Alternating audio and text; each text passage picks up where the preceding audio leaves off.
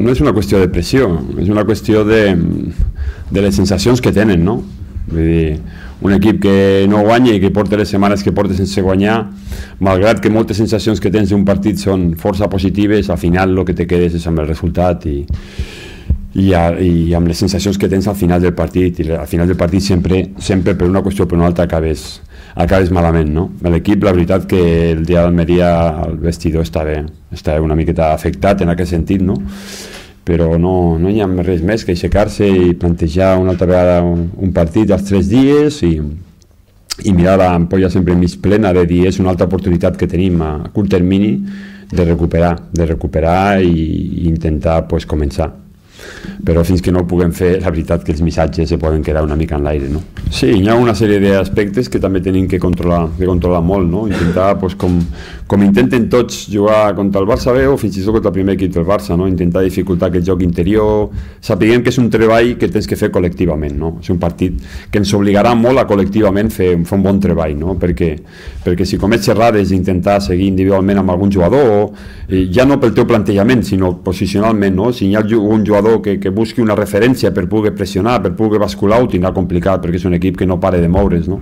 És a dir, amb aquest partit mm, pel rival i per lo que ens juguem necessitem una miqueta d'una vinculació col·lectiva per fer el treball, no? que és una mica el que hem intentat avui eh, traslladar als jugadors, no? aquell compromís eh, col·lectiu perquè el treball defensiu sobretot que ens eh, requerirà el partit ho fem, ho fem amb, amb, amb la, el màxim protagonisme de cada un. No? Aquest és l'objectiu primordial, sí.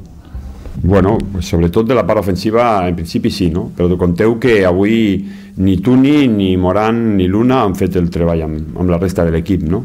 amb la qual cosa o sigui, tenim que esperar, esperar el dia de demà una mica a veure si aquests tres jugadors que van tindre una bona participació el dia d'Almeria i una menció especial a l'Una que no havia aparegut pràcticament i que va fer un partit molt complet però que ara tenim que veure si és millor pues, que surti d'inici o que surti durant el partit no?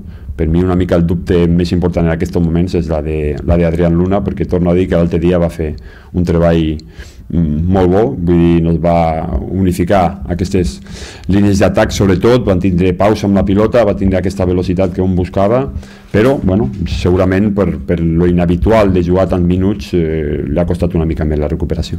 Si al final són ells els que demà tenen que jugar competir, intentar tindre les menys errades possible en aquest sentit, o com a mínim, o com a mínim aquestes errades que, que passa a qualsevol equip pues, que no ens costin tants, tants punts, no? que és una mica eh, aquest aspecte de la fortuna que ara no tenim, no tenim, no tenim bé, no? però torno a dir que tampoc el jugador pot sortir al camp pensant de que, de que pot, pot cometre alguna errada que te costi car, no? sinó que el jugador té que sortir amb la mateixa sensació que va sortir a Almeria de competir amb un equip com l'Almeria de, de tu a tu i de tindre les nostres opcions no? i un equip que està últim, que està a cua a la classificació i que encara no ha guanyat té molt de mèrit que ho faci contra l'Almeria o faci contra el Deportivo o faci contra l'Hércules no? Aquest és l'únic missatge que a mi m'agradaria traslladar però que quasi ja no el traslado crec que la, la realitat ara ja és jugar, competir intentar tindre el premi, no? I si no, pues esforçar-te encara més, no? Encara no és suficient, no? Res més, però ja no hi ha una paraula màgica, ja és el fet, el fet de fer-lo, res. No és fàcil guanyar mini, no ho és. Encara que no hagi aconseguit fins ara, no? podem dir bé de dos victòries consecutives, encara que sigui fora de casa. Si algú va veure el partit contra Guadalajara, bueno, se li va aparèixer la Verge i tots els Sants al Guadalajara, d'acord? Vull dir, fallant un penal quan quedaven 5 minuts. O sigui, l'únic partit que ha sigut inferior és el primer partit de Lliga que va perdre contra el Villarreal. La resta és un equip que, que ha jugat per guanyar el partit i no és un camp fàcil, vagis amb les circumstàncies que vagis no? és a dir, que si ara pensem no, resulta de que el, el, el, el calendari complicat ja ho ha passat i ara no, ara ja és senzill perquè ara solament juga al camp del Barça i rep el Sabadell bueno, perfecte, no, és un calendari senzill tots els calendaris són complicats per nosaltres perquè som últims perquè som últims, eh?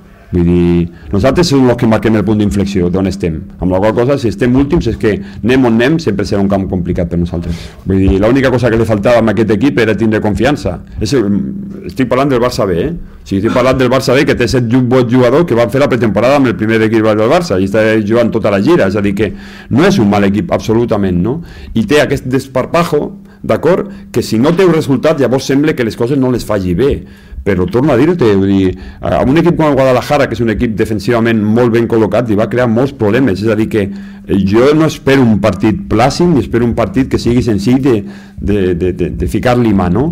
però sí que espero un partit en el qual tinguem que fer sobretot molt desgast inicialment i després tindre la pilota on la volem tindre i intentar tindre velocitat perquè si no serà difícil i ja t'he dit que l'equip pugui mantenir el nivell i després el segon aspecte que a mi me fa una mica més de respecte és que jo crec que la seva recuperació de jugadors de, de 16, 17, 18 anys no serà la nostra, no? és a dir, que nosaltres eh, la feina que, eh, de recuperació és una feina una miqueta més exigent que no pas la seva. No?